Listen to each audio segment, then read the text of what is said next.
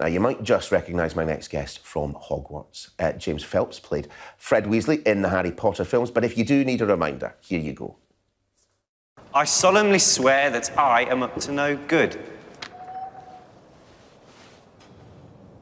Messrs. Moony, Wormtail, Padfoot, and Prongs are proud to present the Marauder's map. We owe them so much. Hang on. This is Hogwarts. And that. No. Is that really. Dumbledore. In his study.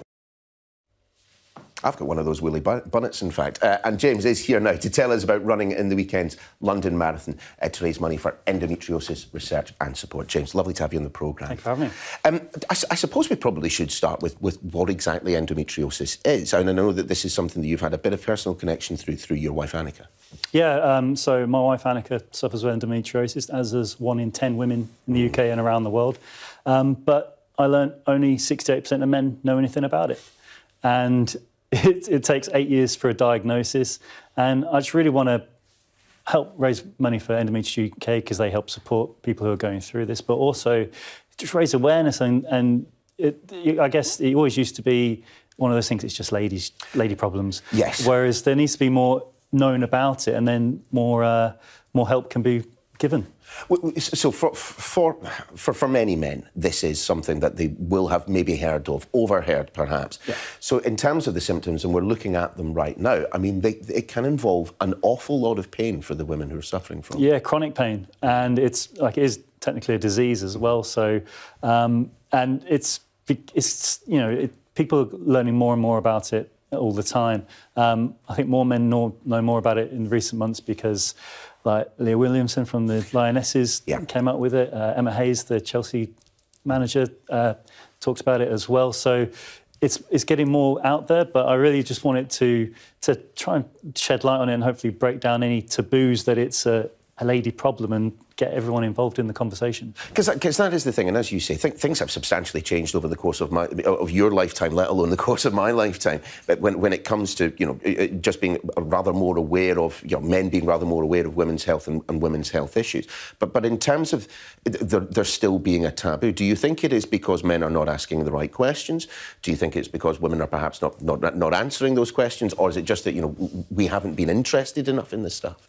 I think it's you're, you're only uh, what's what's presented. So, I, to be honest with you, I probably only would have known about it because of Annika's. Um, mm. my, my wife's going through it, and the reason I'm doing the London Marathon for it is because during lockdown I was doing like a lot of people a lot of running, mm-hmm. and I did a half marathon just on my own, and I literally couldn't walk. I couldn't get up the stairs. Mm. At the same time, Annika was going through a flare up, and she couldn't do the same thing, and it literally took me half a marathon to feel like she had, and she just woke up with it.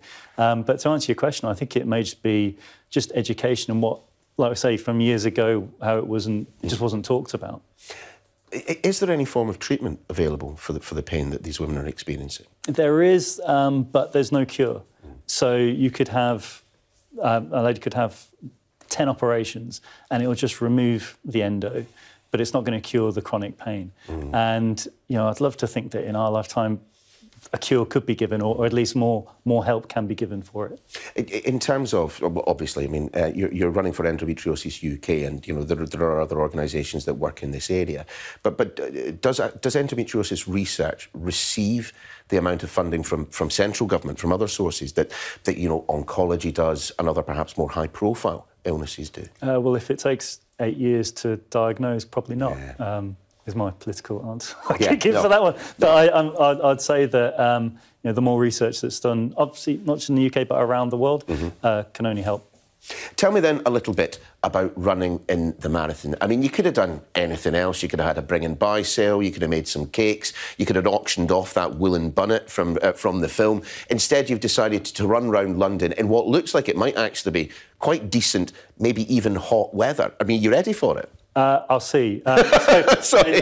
Basically, I've been, I've, my brother and I have been filming second season of our travel series, and so I've been doing literally 20k runs in in Melbourne, in mm. Patagonia. So I've been trying to keep up my training, um, but I just want to get through it. I'm not bothered about a time. Uh, well, I will put all the links um, out to the, the, fundraising and Endometriosis UK out on our social later on. But um, James, pleasure to have you on the sofa, and best of luck I think you might, I'm sure you don't need it. I'm sure you don't. Thanks so much.